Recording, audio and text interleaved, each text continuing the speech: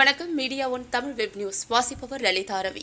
கொடைக்கானலில் காங்கிரஸ் விவசாயி மனமுடைந்து தற்கொலை. திண்டுக்கல் மாவட்டம் கொடைக்கானல் அருகே பிரகாசபுரத்தில் காங்கிரஸ் கட்சி வட்ட செயலாளர் வீரமலை என்ற விவசாயி பிரகாசபுரத்தில் சுமார் நாற்பது ஆண்டுகளாக விவசாயம் செய்து வந்தார்.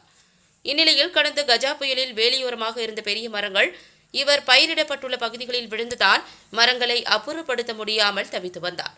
பின்னர் தனது பட்டா இடத்தில் விழுந்த மரங்களை அப்புறப்படுத்த அதிகாரிகளிடம் மனு கொடுத்தும் அவர்கள் செவி சாய்க்கவில்லை.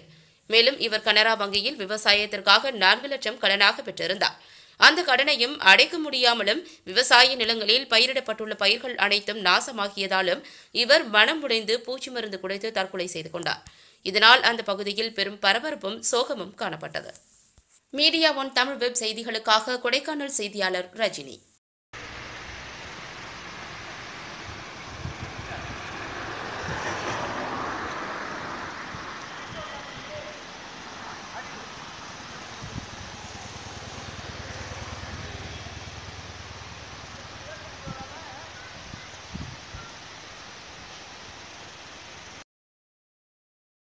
Yeah.